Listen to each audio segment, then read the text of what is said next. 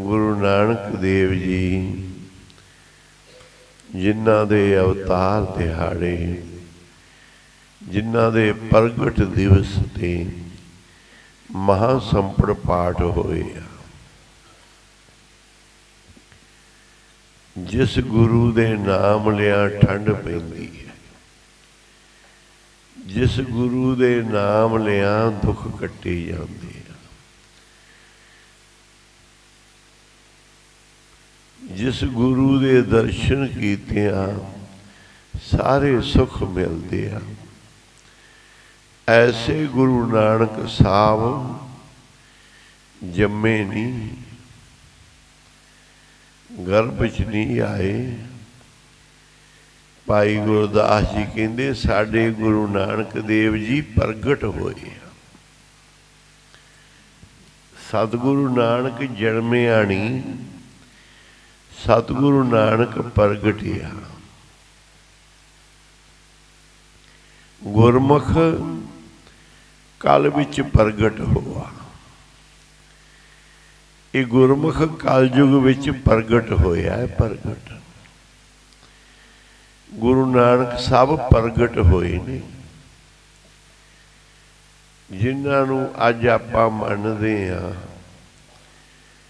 ਜਿਨ੍ਹਾਂ ਤੋਂ ਹਰ ਬਚਨ ਪੁੱਛਦੇ ਆ ਜਿਨ੍ਹਾਂ ਦੇ ਅੱਗੇ ਬੇਨਤੀ ਕਰਦੇ ਆ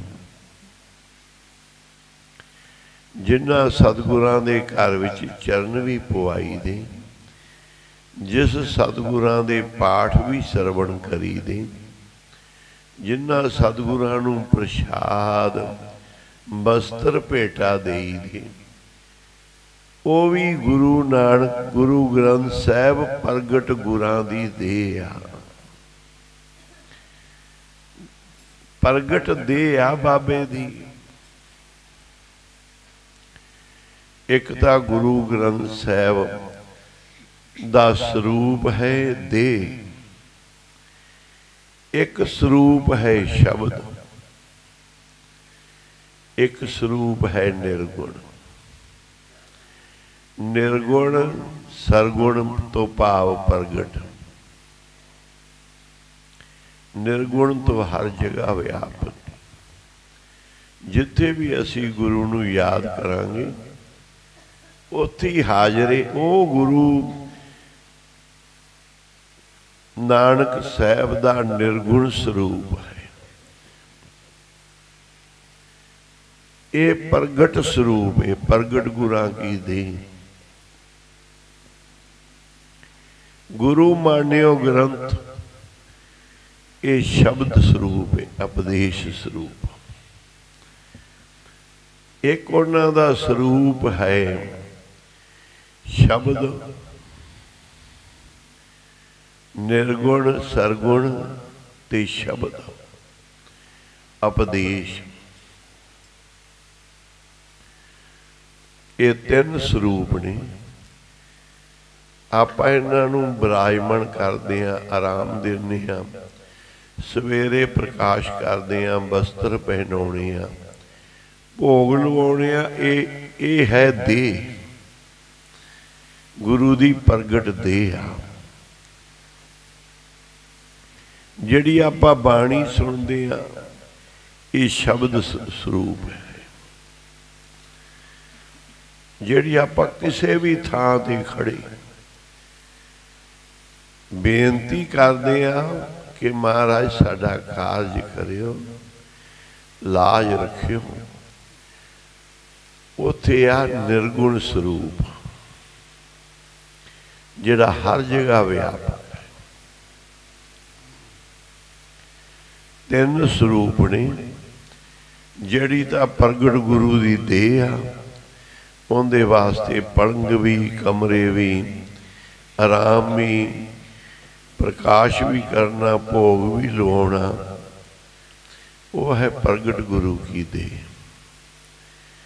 ਜਿਹੜਾ ਉਪਦੇਸ਼ ਬਾਣੀ ਪੜ੍ਹਨੀ, ਸੁਣਨੀ, ਕੀਰਤਨ ਕਰਨਾ, ਇਹ ਸ਼ਬਦ ਰੂਪ ਹੈ। ਨਿਰਗੁਣ, ਸਰਗੁਣ ਬਾਣੀ ਜਾਂ ਨਿਰਗੁਣ, ਸਰਗੁਣ ਸ਼ਬਦ ਜਾਂ ਨਿਰਗੁਣ ਸਰੂਪ, ਸਰਗੁਣ ਸਰੂਪ ਤੀਜਾ ਗੁਰੂ ਗ੍ਰੰਥ ਸਰੂਪ। ਗ੍ਰੰਥ ਬਾਣੀ ਸਰੂਪ ਜਹਾਜ ਹੈ। ਆਪਣੇ ਗੁਰੂ ਨੂੰ ਪ੍ਰਗਟ ਸਤਿਗੁਰੂ ਮੰਨਣਾ ਹੈ।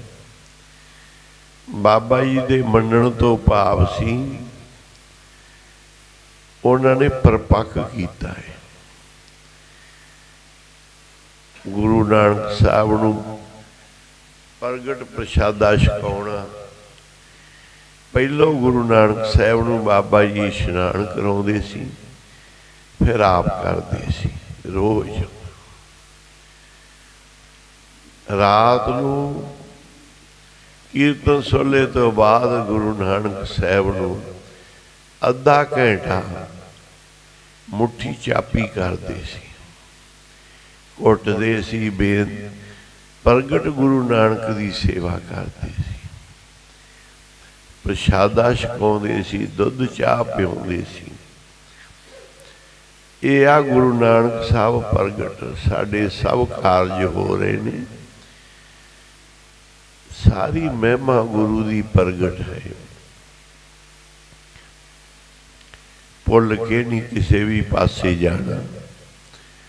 ਕਿਸੇ ਜੰਤਰ ਮੰਤਰ ਤਾਗੇ ਤਵੀਤ, ਕਿਸੇ ਦੇਵੀ ਦੇਵਤੇ ਅੱਗੇ। ਗੁਰੂ ਨਾਨਕ ਸਾਹਿਬ ਤੋਂ ਬਗੈਰ ਕਿਸੇ ਅੱਗੇ ਚੋਰੀ ਨਹੀਂ ਅੱਡਣੀ।